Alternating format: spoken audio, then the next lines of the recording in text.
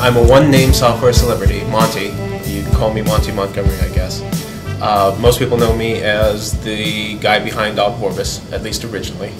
Uh, I started Xiph.org uh, along with a bunch of friends long time ago, probably going on, oh, 15 years now.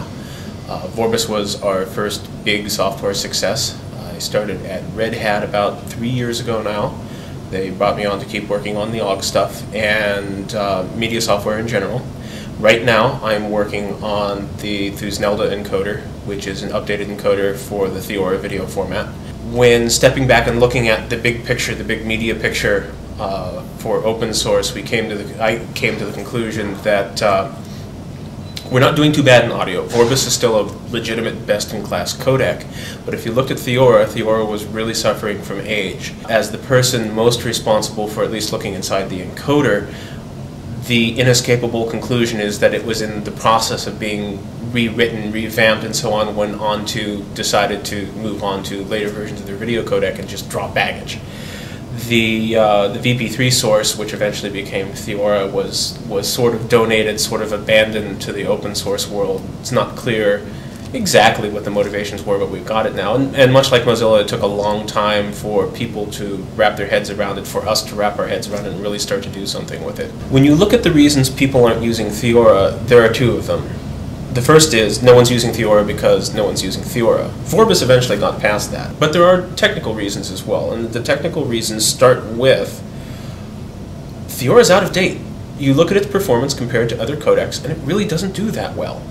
That's not really what this is about, because you, what's the most popular video codec in the world right now? It's not, it's not MPEG. Go look at what they're using on YouTube.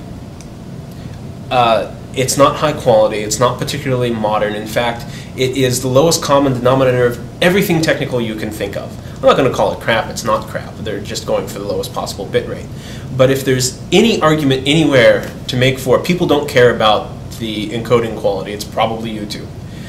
But that said, early adopters do tend to care about coding efficiency, coding quality, and they look at Theora and they say it's out of date. Theora is not technically compelling. Why should we be using it? And frankly, that assessment is correct, and that needs to be addressed. We made that decision last November, I think it was. Maybe it was end of October, beginning November.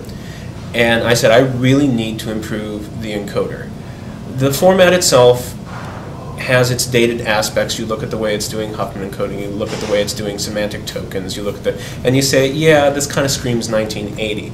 But the real problem in Theora is not the bitstream format. The real problem is just the encoder has been is thoroughly obsolete. It's been entirely surpassed by things that have come uh, come since. And so what Theora needs is a new encoder, and that's what we've been writing. But the point of the whole project is that it's a next, next generation encoder that shows what you can do with what's essentially a 15-year-old video codec, a 15-year-old format, uh, very, very stable, very well understood, and take the implementation, apply cleverness to the implementation to bring it forward and make it uh, make it technologically compelling right now. And we're doing that. There are open source implementations of the various commercial patented codecs, uh, like XVID. XVID is an excellent implementation of uh, MPEG-4 video.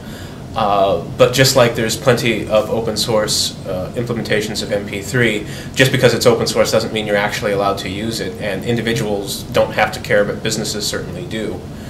And so until the patent regime comes down, or there are significant changes to the way software patents work, or the uh, software patents in general, we're stuck with the system that we've got. And if you want to do free media, we have to keep Theora up to date. We have to uh, we have to keep Vorbis and Ogg going, so that there is some option where the first thing that you're not considering when writing software of any kind is, okay, who do I have to pay first to get the licenses, and then we can start development. There will no longer be any technical, uh, compelling technical reason to avoid Theora. Right now you have to look at it and say, yeah, it's behind the times. Uh, with this new encoder, it won't be. Uh, as a matter of fact, it's going to be one of the best out there. And so uh, that solves half the problem. Now all we have to do is uh, change the entire patent system and we're home free.